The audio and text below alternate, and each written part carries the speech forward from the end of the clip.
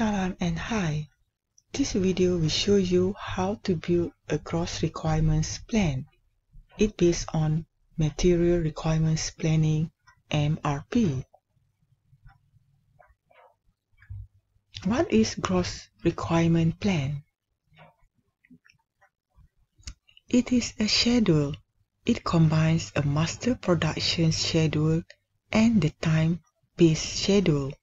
It shows when an item must be ordered from suppliers if no inventory on hand, or when the production of an item must be started to satisfy demand for the finished product by a particular date.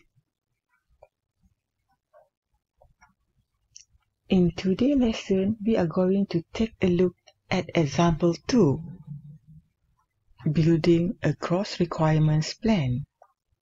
Each awesome speaker kit item A of example 1 requires all the items in the product structure for A. Lead times are shown in table 14.2.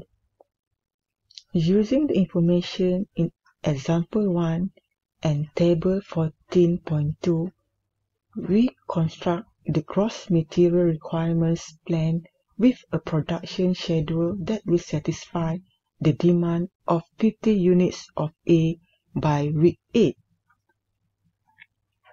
For that, we prepare a schedule as shown in table 14.3.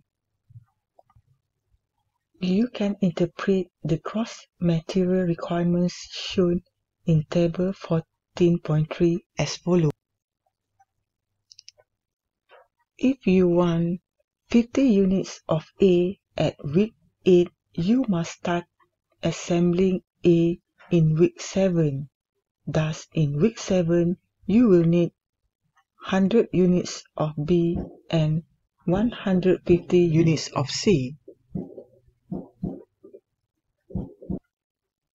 Thus, in week 7, you will need 100 units of B and 150 units of C. These two items take two weeks and one week respectively to produce. Production of B therefore should start in week 5 and production of C should start in week 6. The lead time extracted from the required date for this item.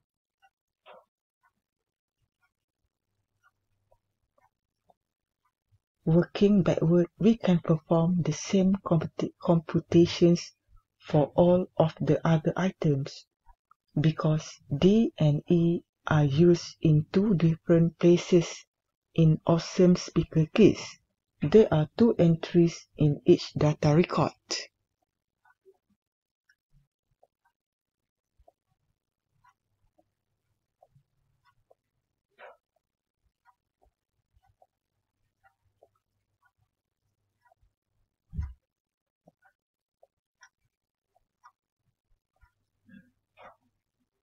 That's all.